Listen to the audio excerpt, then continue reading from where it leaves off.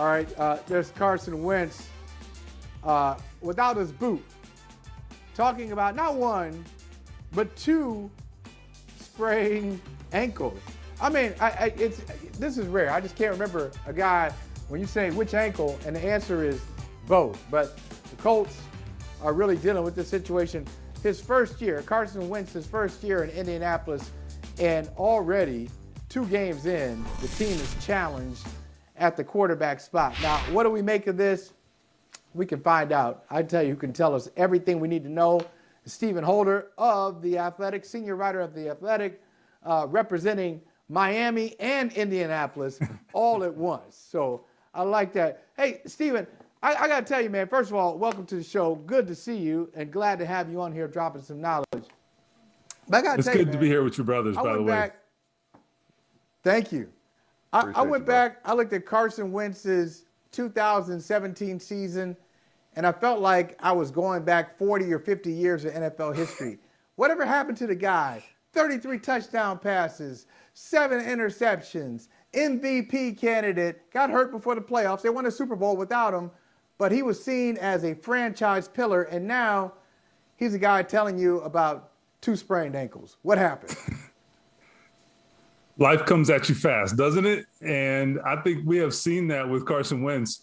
You know, he went from, as you said, that guy in 2017, I thought, to last year being uh, basically the the guy who who took the blame or a lot of the blame for a lot that went wrong in Philadelphia. I don't know that I've seen a guy who was considered a, a franchise quarterback, uh, both publicly committing to him and financially committing to him, going from that to out the door in such a short period of time. I mean, it it was really a unique situation that you're not going to see very often in the NFL. I mean, even in today's day and age where commitments are fleeting and quarterbacks are on short leashes, even under today's circumstances, it, it was definitely uh, something to behold. But to your question, I think he needed a new start. There's no question he needed a new start. The, the Eagles needed that, and Carson Wentz needed that. However, now that has been short circuited, as you said, after two games here.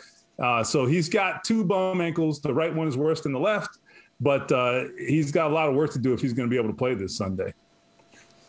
You know what, Stephen? Uh, I, will admit it. You know, I like a little gossip every now and then. I like whisper campaigns. I like uh, trashy TV. I'll tell you, I watch the Real Housewives of Potomac, uh, just like anybody else. All right, so I like some of the craziness, and there's plenty of craziness surrounding Carson Wentz. When he left Philadelphia, I heard all kinds of stuff about what kind of guy he was or what kind of guy he wasn't. How about in Indianapolis? Is he is he a leader in that locker room, or do you hear some of the same things that, that we heard about him in Philadelphia? I think it's a little early to tell, but he I will say this, the, the guys have definitely taken to him. I know one of the first things he did, he did this over the summer before training camp was he had a lot of the offensive players come out to Houston, where he he makes his offseason home. They came out there and had you know kind of an unofficial retreat. They got some work done on the field. You know, they hit some golf balls. They did a little bit of that, some pool, etc. So I, I, thought that was a good effort on his part. I, I will say this for Carson Wentz: he is self-aware. Like he knows what people think about him he may care too much what people think about him, actually, to, to, be completely honest. But he definitely is aware of it. And I think that was an example of him trying to get ahead of it. Now, whether that's going to be enough, I don't know. I, at the end of the day, you got to do it between the lines. And if you're doing it between the lines, your leadership off the field tends to be less of a factor. I think that's what boils that's what this boils down to. You know, had he still been that guy he was in 2017, maybe people weren't sort of rubbed the wrong way uh, when it comes to his leadership style in Philadelphia. But you have a situation where maybe they lost confidence in you as a leader, and then they also lost confidence in you as a player, and you can't have both. You can't battle on both of those fronts. I read where the Colts uh, have invested more money in their O line than all but one team in the NFL, but two games in, 21 quarterback hits, 26 QB pressures certainly doesn't help playing the Rams and Aaron Donald like they did last week. And, and it's funny you said life comes at you fast. You add life comes at you fast in Philadelphia.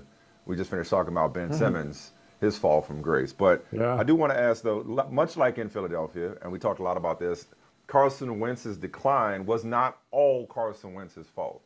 Uh, the thinking was that going and you know reuniting with Frank Reich would uh, would reinvigorate him uh, and um, you know uh,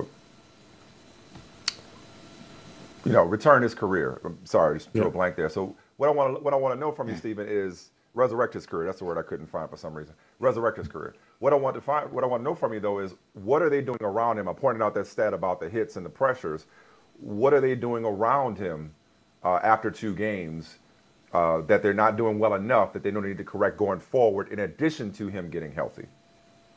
Yeah, there there has been a little bit of dysfunction in the offense, and it, it traces back really to injuries. You know, they have had a number of guys miss pretty much all of training camp in the preseason. Carson Wentz among them, right? The offensive line, a majority of the offensive line missed the entirety of training camp. And so, what I've been telling fans in Indianapolis is that, you know, when you talk about training camp and, oh, a guy will be back for the season, no big deal, it is a big deal. That's what I think. I really think when you see an offensive line underperforming the way this one has, you talked about the investment. I really think it traces back to they're not ready. They they weren't ready for the season opener. And you know, that's not anybody's fault per se. It's just circumstances are what they are. Look, they've signed Eric Fisher to be their left tackle. This guy's coming off an Achilles tear. He gets all the credit in the world for getting back out there, missing one game after getting hurt in the AFC Championship. Remarkable. But to suggest that he's a mid-season mid-season form, of course not. Same thing with Quenton Nelson, who's battling a, a, back injury. You know, he fought valiantly against Aaron Donald, so God bless him. But uh, these these guys, you know, so same thing with their their Pro Bowl center Ryan Kelly. Their their right tackles hurt, so I mean they got a lot going on. I think it's going to take a while, and then they're dealing with also Carson Wentz trying to get on the same page as these receivers he missed all of training camp with a foot injury. So, you know, we talk about his injury history. It's not just these ankles, it's also this this foot injury that kept him out of training camp. So it is a recurring story. Like I don't like to label guys injury prone, but I get where the label comes from. There's no question about that. Yeah. Um, broadening it out a little bit, Carson Wentz was was obviously, uh, as we are well known, to be one of the unvaccinated, most high-profile unvaccinated players. That was a big topic during training camp. You co-authored a piece for the Athletic with Lindsay Jones, looking at uh, just how uh, oppressive, if you will, the uh, protocols are for unvaccinated players. Now, the vast majority of NFL players, uh, well over 90 percent have had at least one shot. So I think you, you guys said it's about 200 or so players who are unvaccinated. I wonder, in, in your research, did you find that, like Denzel Perryman of the Raiders, did you find that players are being worn down and beaten into submission, if you will, and coming around to getting vaccinated so to avoid having a social distance, having to test early and every day, uh, having to, you know, go through all the different uh, steps that vaccinated players do not. Being ostracized, or being outcast, as Denzel Perryman said. Like, are, are those holdouts coming around just through exhaustion, or are they dug in and we're just not going to get the league completely vaccinated or close to it? There's no question that the protocol have had an impact. Now, the question going forward is going to be what about these last holdouts? Uh, are they going to be influenced? Because they've been dealing with this now for what? Training camps opened in the last week of July. So these guys have had enough time to understand what they're dealing with and to, to know what this is going to be like. And so I, I think what you saw is between the time players reported for camp and maybe the end of the preseason, roughly, you saw a big increase in the numbers in that span. And I think that's where the protocols really hit home for players. Like, oh, I got to do this every day and I got to eat outside in a tent. You know, like that's what they were dealing with in some cases in training camp. You know, obviously they're back at their facilities, so the, the logistics are a little better, but it's no question. It is really, um, it, it cramps your lifestyle. There's no question about it. So again, I think a lot of players did react to the protocols and get vaccinated I would say prior to the regular season. I know there were quite a few Colts players, for example, who would miss a practice uh, on a random day, and it turns out they were getting their second shot, so they needed to kind of lay down a little mm. bit. I was like, all right, that's that's a good reason yeah. to miss practice. Now that you're into the Another- season, yeah, but but now that we're into the season, I think most players have made that decision. Who are going to make that decision? I think they made that decision already. I think these guys. Yeah. I mean, for better or worse, they are definitely headstrong. I'll give them that. uh, not yeah. for the right reason, yeah. but they're definitely headstrong. Yeah. And on the worst side, another high-profile unvaccinated quarterback, Cam Newton, probably will remain unemployed longer than he should because, yep. as you pointed out in the article, teams are going to be reluctant to sign a quarterback on short notice that has to go through a, a period of being, uh, you know, indoctrinated into the team, has to be away from the team as they, if they're unvaccinated. Hey, Stephen Holder, you do fantastic work with the Athletic, man. It's so good to see you, bro. It's been a long time, been too long. Let's not be a stranger. Make sure you come back uh, a little, uh, come back soon. Let's not, uh, let's not be too long before your next visit to Brother from Another. All right, let's do it. No question. Appreciate you, brothers.